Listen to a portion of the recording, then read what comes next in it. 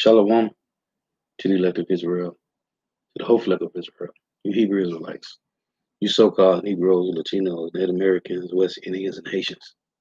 Gotta give all praise and glory to Yahweh, Bahashem, Yahweh Shah. The Most High, the Heavenly Father, his Hebrew name is Yahweh. Now Yahweh, not Jehovah, not God, not Elohim, not Most High, not Lord, not Yah, not Jah, not Ahaya, not Allah, not Abba. It's Yahweh. And his only God son name in the Hebrew is Yahweh Shah, not Yahshua, not Yeshua, not Jesus Christos, not Jesus Christ, not Serapis Christos, not Yeshaya, not Yehoshua. It's Yahweh Shah.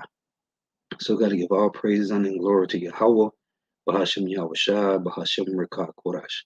The honors to the apostles and elder bishops and elders of great millstone who rule well, who teach well, who are the apostles and elders of all Israel, whether accepted or not. In the sincere salutation to all the who pushing this truth and believing this truth, but the four winds of the earth, the entire world, shedding light to the hopeful elect. And want to the wealth who are listening and learning. You few sisters who are listening and learning. Coming at you with another lesson in truth, fact, faith, and edification. Another daily edification, Lord, witness be edified. So, I titled this lesson, Titled this lesson, uh, you bear with me.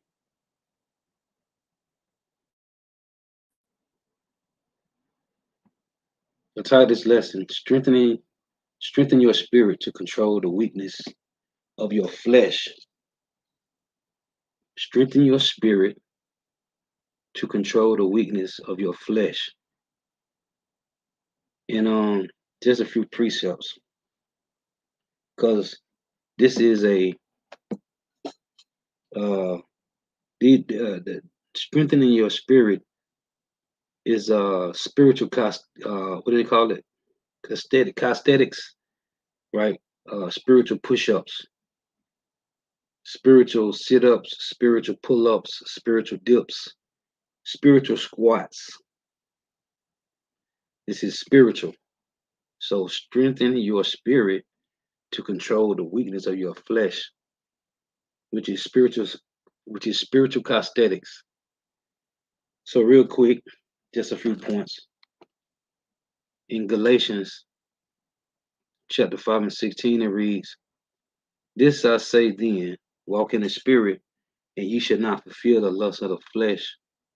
For the flesh lusteth against the spirit, and the spirit against the flesh, and these are contrary to one to the other, so that you cannot do the things that you would.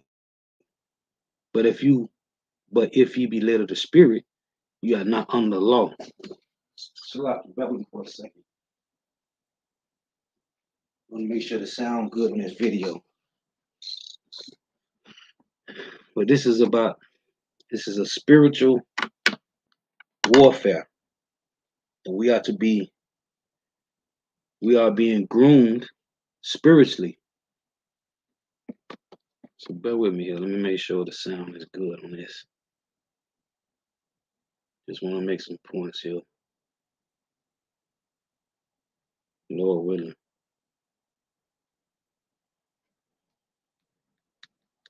Make some points here. Okay. Lord willing. Okay, so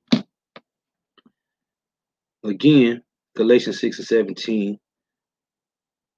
This I say then, walk in the spirit, and you shall not fulfill the lust of the flesh. For the lust, for the flesh lusteth against the spirit, and the spirit against the flesh and these are these are contrary to one to the other, so that you cannot do the things that you would. And again, this is spiritual calisthenics, right? Spiritual push up, spiritual push ups, spiritual pull ups, spiritual dips, spiritual uh, sit ups, and spiritual squats. This is uh First Timothy 4 and 7. Just exhortation.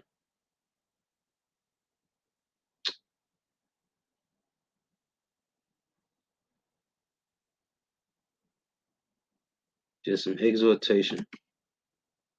First Timothy 4 and 7 it reads, But refuse profane and old wives' fables, and exercise thyself rather unto godliness. For bodily exercise profit little. It profit, it profit little, but it do profit bodily exercise. But it say again, First Timothy 4 and 8, for bodily exercise profit little, but godliness is profitable unto all things, having promise of the life that now is and of that which is to come. So, spiritual exercise is godliness, which is profitable to all things. This is uh Acts 24.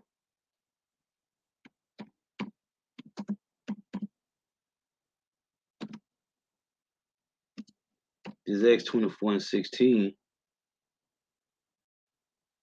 It reads, And herein do I exercise myself to have always a conscience void of offense towards God and towards men. So if you is spiritually exercising yourself, right?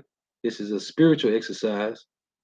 Then it say to have always a conscience void of offense towards God, power Yahweh Shema and towards men. So when you exercise yourself constantly in the spirit, as I tied the lesson, strengthening, strengthening your spirit. Oh, I was gonna title it, exercise your spirit to keep the flesh weak. And the flesh being weak, it'll overpower your spirit. Because you Yahweh, as a matter of fact, Yahweh Shah said this in Matthew 26 and 41.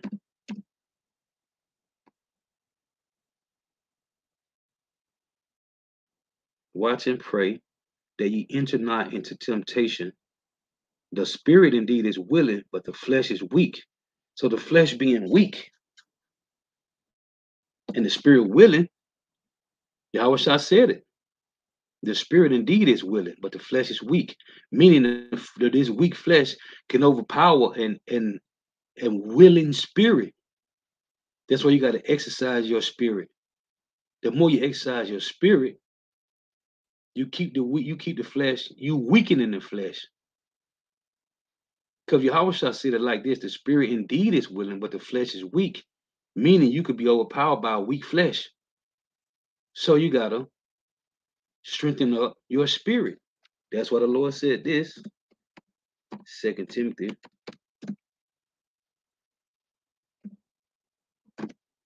Two and three.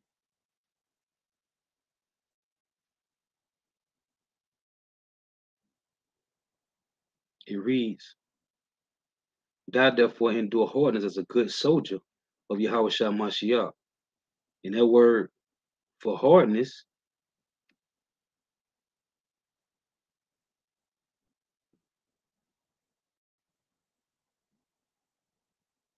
so lucky, let's play this. Just something real Strong's quick. G twenty five fifty three.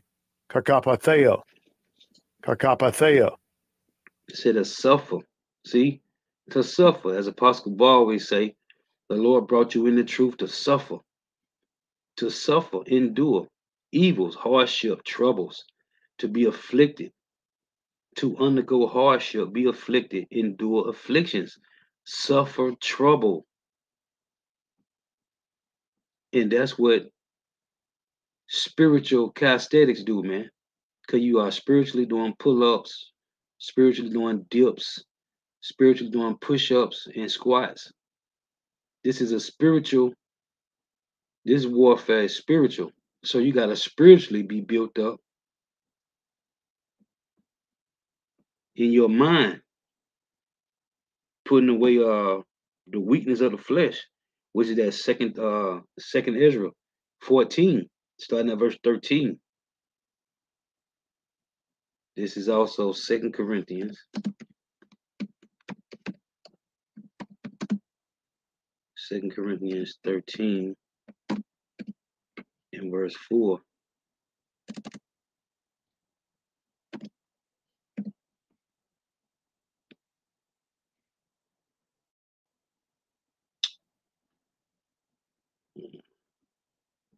lucky2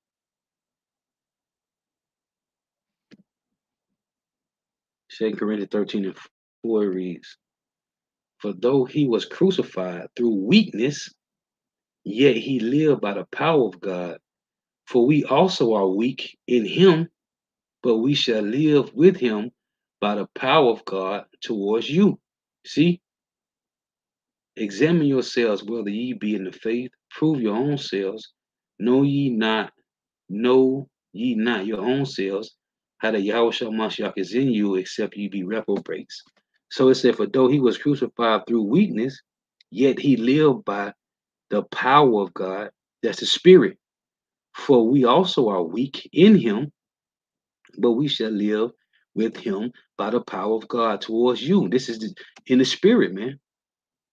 Dwelling in the spirit. This is also uh was that uh second Timothy. Second Timothy 3 and 16.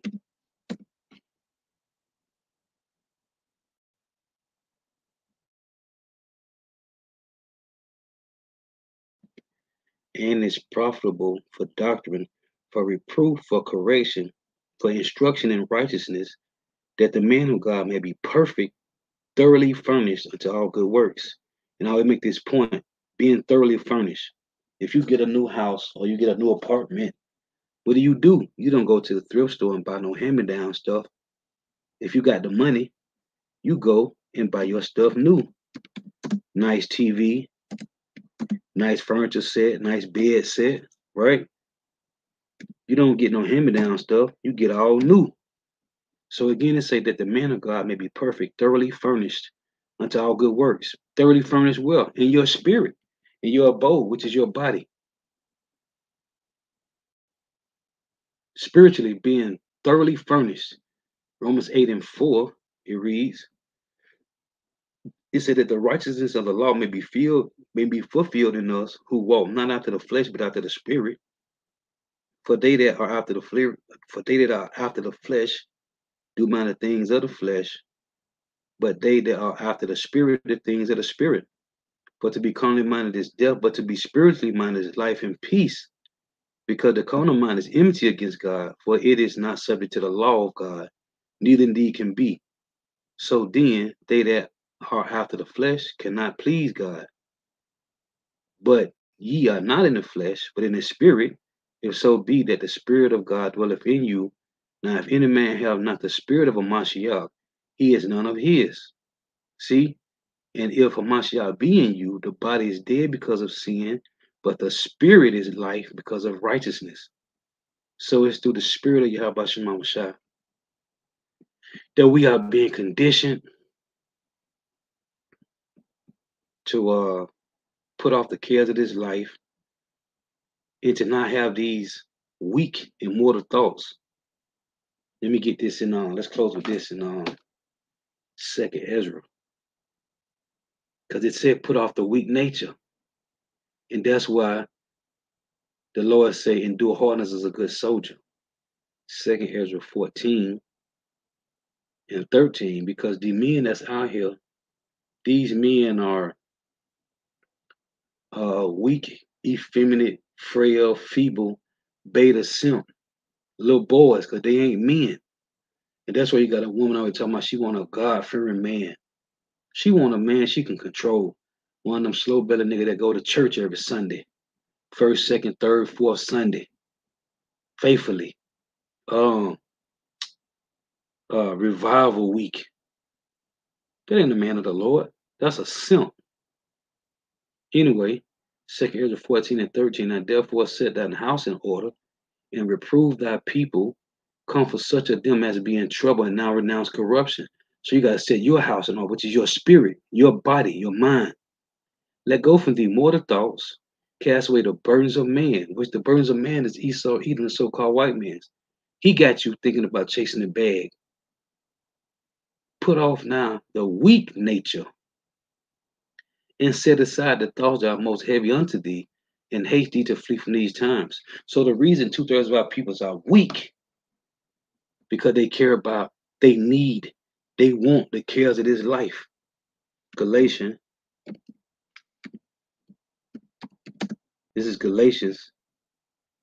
No, Salakia. James. James 4 and 4. It reads, Ye adulterers and adulteresses, know ye not that the friendship of the world is enmity with God? Whosoever therefore would be a friend of the world is the enemy of God. So, do if you think that the scriptures say in vain, the spirit that dwelleth in us lusteth to envy? No, man. No, but he giveth more grace. Wherefore he saith, God resisteth the proud, but giveth grace unto the humble. See? Submit yourself therefore to God through the spirit of Yahweh. Resist the devil, and he will flee from you. So again, do you think that the scripture saith in vain, the spirit that dwelleth in us lusteth to envy? No, man, it doesn't. Because the spirit put your mind on. Let me get this. Colossians.